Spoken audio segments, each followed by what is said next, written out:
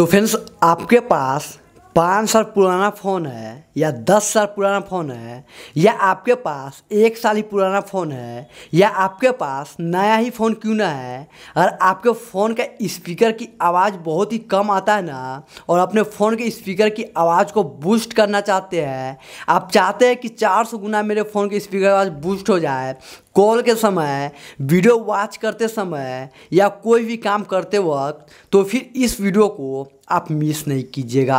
चलिए दोस्तों, बिना टाइम वेस्ट किए हम वीडियो को शुरू करते हैं और सीख लेते हैं कि हम अपने फ़ोन की स्पीकर की आवाज़ को इंक्रीज कैसे करें, बढ़ाए कैसे। दोस्तों, सबसे पहले आपको करना क्या होगा, जो आप वीडियो को देख रहे हैं, उस वीडियो के नीचे एक लाइक का बटन मिलेगा।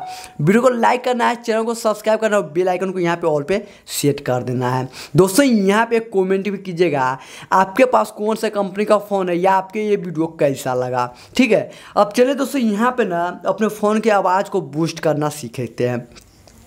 दोस्तों, अगर आपके पास सैमसंग कंपनी का फ़ोन नहीं, किसी और कंपनी का फ़ोन है तो आप अपने फ़ोन का प्ले स्टोर को ओपन कीजिएगा, एक ऐप को डाउनलोड कीजिएगा। ऐप को डाउनलोड करने के बाद दोस्तों ओपन कीजिएगा। और ये आपके मोबाइल का स्पीकर है, ठीक है? ये आवाज़, जैसे कि यहाँ पे हम पैंसठ करते हैं तो इसको हम बढ़ाएँगे ना तो यहाँ पे देखिए सौ हो गया तो ये भी सौ यहाँ पे जाएगा। तो ये आपके फ़ोन का अब बूस्ट करना है ना दोस्तों तो यहाँ पे आप बूस्ट कर सकते हैं। लेकिन दोस्तों, चालीस परसेंट से ज़्यादा बूस्ट कीजिएगा तो यहाँ पे ये बताएगा कि आपके फ़ोन का स्पीकर ना थोड़ा ख़राब भी हो सकता है। ठीक है डैमेज भी हो सकता है, लेकिन आप, आपके फ़ोन की स्पीकर आवाज़ कम है तो आप यहाँ से बढ़ा सकते हैं।